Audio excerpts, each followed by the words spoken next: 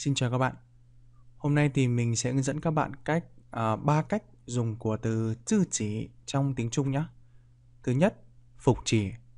Phục chỉ đứng sau đối tượng được phục chỉ. Ví dụ, cậu ấy tự hiểu. Tha, cậu ấy, chữ chỉ, tự, miếng bái, hiểu. Thì ví dụ thứ hai, cô ấy tự tham gia. Tha, cô ấy, chữ chỉ, tự, chan chia, tham gia. Từ chư chỉ đứng ngay sau danh từ để phục chỉ có tác dụng nhấn mạnh. Tức là ở trên này là từ tha nam, dưới này là tha nữ. Thì từ chư chỉ đứng ngay sau để phục chỉ tức là nói đến cái danh từ đó, để nhắc lại cái danh từ đó, nhấn mạnh danh từ đó.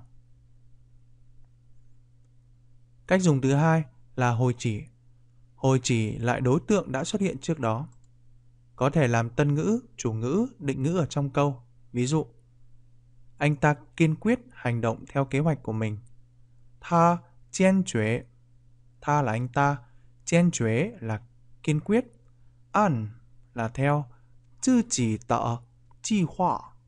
Chi khoa là kế hoạch, chư chỉ là của chính mình, chính là của anh ta đấy.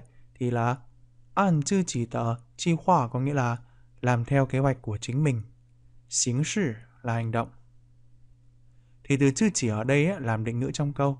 Như các bạn đã biết chữ tợ rồi thì đây sẽ là trung tâm ngữ, còn đây sẽ là thành phần định ngữ. Ví dụ thứ hai.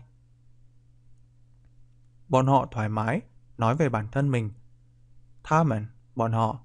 Chinh sung là thoải mái, nhẹ nhàng. Ủy khoải là vui vẻ. Chúng ta kết hợp chinh sung ủy khoải có nghĩa là thoải mái thôi. Tơ. Léo trọ. Léo trọ là nói nhé. chư chỉ là chính bản thân mình, chính là bản thân bọn họ ấy. Thì từ chư chỉ ở đây làm tân ngữ ở trong câu nó đứng sau động từ léo cho. Nó là tân ngữ nhé. Câu số 3. Mình xem cả nửa buổi nhưng bản thân mình cũng không hiểu.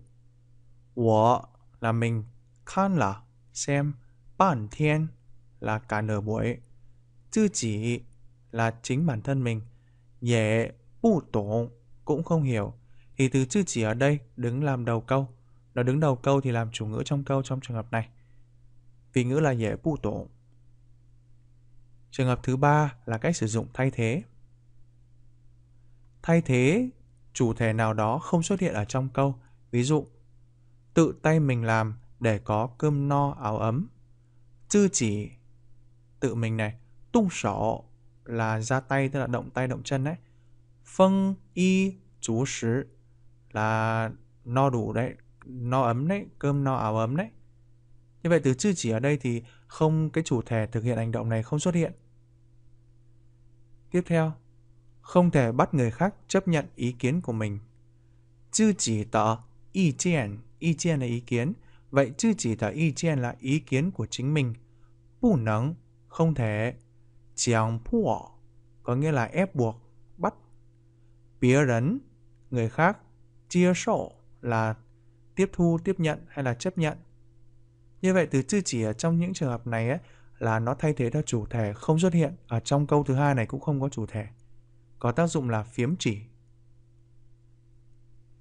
Thì thưa các bạn, đó là ba cách dùng của từ chữ chỉ trong tiếng Trung. Thì mình chúc các bạn học tốt mỗi ngày nhé. Hẹn gặp lại các bạn vào những video tiếp theo. Cảm ơn các bạn. Hẹn chia.